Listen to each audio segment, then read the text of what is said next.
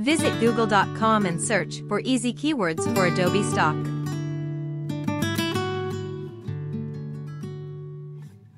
In the Google search results, you'll see the first link leading to the Chrome Web Store page for easy keywords for Adobe Stock. You can install this Chrome extension by clicking the Add to Chrome.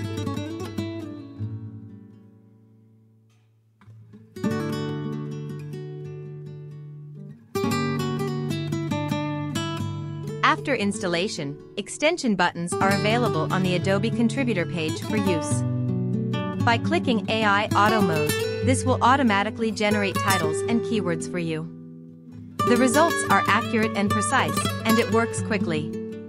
When the AI successfully generated a title and keywords, an AI green circle symbol appears in the right corner of the image. You can also click Enable Auto Click to automate clicking on images with ready titles and keywords. Wait until the AI has finished working. During this time, avoid clicking on the image. You can also stop this by clicking AI Auto Mode again.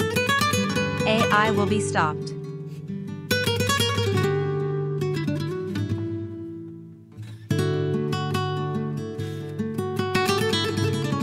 Review or edit the result as needed, then click Submit.